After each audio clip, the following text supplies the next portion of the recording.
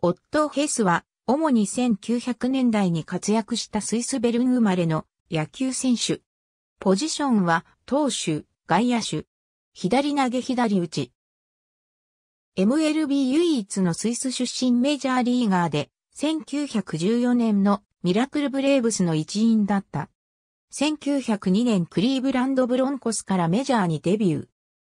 1903年は出場せず、1904年に21試合に登板し8勝7敗、防御率1.67の成績を残す。1907年までの間クリーブランドの先発投手の一角として活躍し、1906年には20勝17敗と3つのセーブを記録。この年の防御率1.83はリーグで6位の成績だった。ただ投球が年ごとに安定しなかったようで、1905年の冒頭数18はリーグ最多、また1906年には24もの予支球を記録している。1908年当初は不調で4試合、7イニングしか登板せず、その後1911年にニューオーリンズ球団からボストンブレーブスに移籍するまで数年間マイナーで暮らした。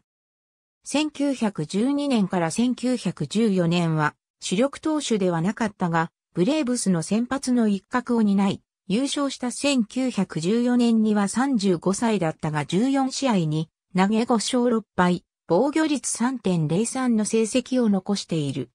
ただこの年のワールドシリーズには出場していない。1915年にメジャーから引退し、1926年にアリゾナ州で死去した。ありがとうございます。